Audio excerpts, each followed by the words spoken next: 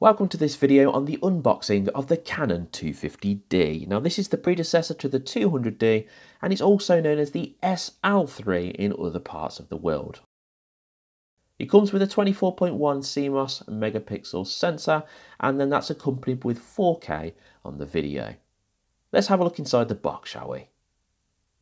So straight away opening up the Canon 250D box I expect to see a rather large Canon manual. Now this is usually found in most of the Canon cameras and you will probably see that this is no change here. So let's just have a look. Put that to the side and yes you can see that this is the EOS 250 manual and you can see that you've got plenty of stuff that you can look through here when you get the time to check with your camera. If we move out the first part here which is the cardboard protection we're going to be greeted with everything inside. The first thing I can see to grab is the Canon strap. This is standard with most Canon cameras and they're going to come with a strap which you can then fit around your camera and then put it around your neck. Keeps it safe.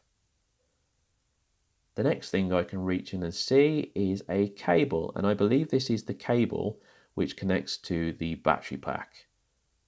But I can already see straight away as I'm opening this up that it's the two-pronged um, adapter here which means that you will actually have to get a plug for this if you live in the United Kingdom.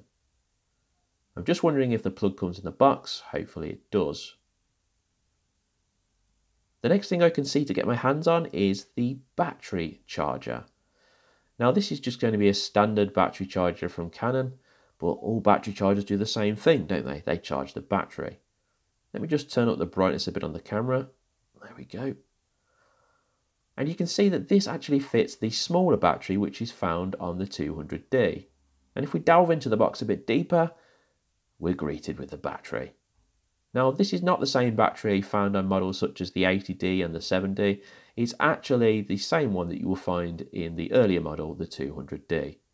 Now, this is supposed to have better battery performance and you can get up to a thousand photos apparently. So that's pretty impressive. Let's put this to one side. Okay, so the last thing I can see in the box now, I believe, is the camera. And this is what we're all really wanting to see, I'm guessing. So let's see if I can get this out of here. It's a bit tricky. There we go. I will say they wrap it up pretty well, which is good to keep it protected. Let's have a look at it. Here we have the Canon 250D. Okay, so this is the Canon 250D and straight away I can feel that it's very light and it feels actually nice in the hand. It does feel very small, I will say that, but it feels more comfortable to hold than the M50. Now you can see straight away that you have the shutter and the mic inputs here. And then if we turn it around, I would expect to see the HDMI and also the USB port, which is correct. Now if we have a look at this camera from the top down, you'll be able to see that it looks very similar to the 200D in the button placement and the dials. You've got your mode dial there. You've also got the on off switch here and which you can switch to video. And you've got your ISO buttons and then the dial here. You've also got the shutter button at the bottom. If we now turn this camera all the way around to the back, we're going to be greeted with one of Canon camera's best features, and that's the screen. You can see here that we've got the screen and we've also got this very small little dial here which actually is a lot smaller than any Canon cameras I'm used to.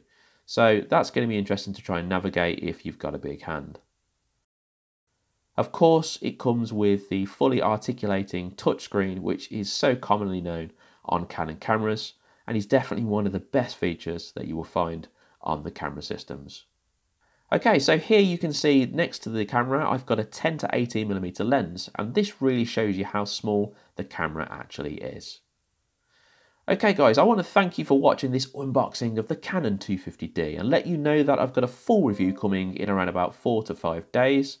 This is going to be on the video and the photography and also the autofocus of the 250D. So if you don't want to miss that, make sure you hit subscribe and become a part of our growing community. And also, if you found any value in this video, then why not just treat me to a coffee? That would be lovely. If you want to do that, you can do it in the description.